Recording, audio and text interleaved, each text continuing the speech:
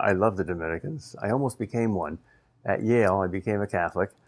And as a fresh, young, bright eyed, and bushy tailed Catholic, I knocked on the door of the rectory at 8 o'clock in the morning. The priest came down, said, uh, What can I do for you? And I said, Father, I want to become a Catholic. His response was, That's nice, so who's the girl? He was a really practical guy. I would come with great questions from the Summa Theologica or from St. John of the Cross, and he said, Well, let's look it up in the Penny Catechism. He used to say, uh, You got to walk before you run, and you got to run before you fly. So start with practicing the virtues. It was great advice. I've met a lot of great Dominicans, for instance, Father Romano Cessario, and my intuitive take on the Dominicans is that they're wonderful people. They're, they're strong and gentle at the same time. Uh, their charism is teaching, and especially the teaching of Thomas Aquinas, who is the world's greatest philosopher. Um, the difference between the Dominicans and the Jesuits can best be put in the classic question when were the Dominicans founded and why? Answer 12th century to combat the heresy of Albigensianism.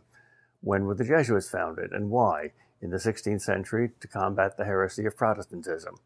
Question When did you meet your last Albigensian? St. Thomas Aquinas is for the whole church. Leo XIII called him the, the master of, of Catholic thought. But the Dominicans are sort of the special custodians of Thomas Aquinas.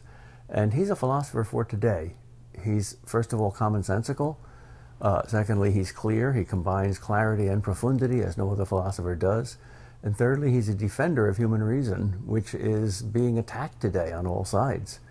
Faith and reason, the Pope says, are like two wings of the same bird. Uh, if one fails, the other fails too. So the defense of the faith entails the defense of reason, and Aquinas is the best defender of human reason. Aquinas is really much easier to read than you think if you get past the terminology. Uh, I wrote a book called Summa of the Summa, which is an introduction to Thomas Aquinas for beginners. He himself wrote the Summa Theologica for beginners but it's got a lot of editing and a lot of footnotes to help you through the tough parts. The tough parts are almost always the language. Once you understand the abstract terminology, uh, Aquinas puts everything together in simple syllogistic arguments. A syllogism is really the simplest and most commonsensical form of argument. If all men are mortal and I am a man, I must be mortal. You don't need to be a rocket scientist to understand that. And he puts almost everything into syllogisms is a kind of old fashioned turn off word. Uh, speaking, dialoguing, sharing, people like those words better than the word preaching, although it's the same thing. But if we don't preach the word in season and out of season, we don't get the word out. And if we don't get the word out, uh, the world isn't saved. So preaching is indispensable.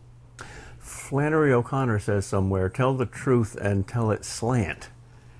Uh, the Dominicans' charism is preaching, but preaching isn't just something you do from the pulpit. Preaching is something you can do with your whole life. You can tell a story. You can talk about uh, love. You can talk about surfing. You can point to examples of, of beauty, which are like fingers which themselves point beyond themselves and above themselves.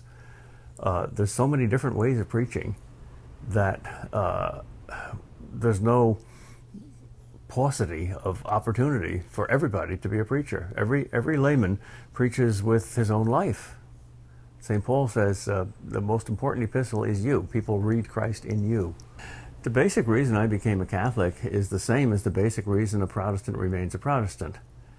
I want to be where Jesus wants me to be. I want to be in the church that Jesus founded.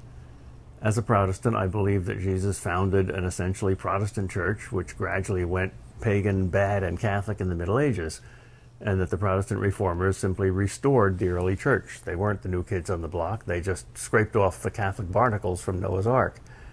But I wanted to prove to myself that that was true, so I started reading Catholic sources and the church fathers and early church history, and I was astonished to find how Catholic they were. So, my essential reason for being a Catholic is that I am convinced, on the basis of the historical evidence, that the Catholic Church goes back to Jesus Christ that all the essential doctrines that the church teaches today were taught from the beginning. For instance, the real presence in the Eucharist. Most Protestants don't believe that. Every Christian in the world believed that, literally, for 1500 years. How could God let that happen? If if the Eucharist is only a holy symbol of Christ and not Christ himself, how could the Holy Spirit have fallen asleep and let every Christian in the world bow down to bread and worship wine, thinking it was Almighty God? Uh, couldn't be. So, uh, even though the ark looked awfully foreign to me at first, as a Protestant, I thought that Catholicism was something alien and other. Uh, I saw Christ there.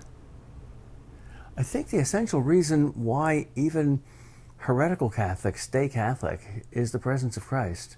They may not believe the doctrines, but when you see that little red fire burning above the altar, that, that altar lamp that symbolizes the real presence, you know that's home. And you don't want to run away from home. It, it, in the past, heretics left the church and attacked her from without. Today they stay inside the church and attack her from within. Is that just hypocrisy? Is that just uh, a satanic strategy to, to ruin the church from within? I don't think it's merely that. I think on the part of most of these bad Catholics, it's the lingering belief in the real presence.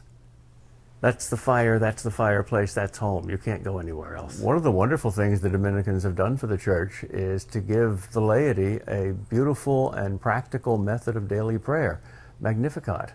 I'd highly uh, recommend everyone use it uh, if you want to pray with the mind of the church.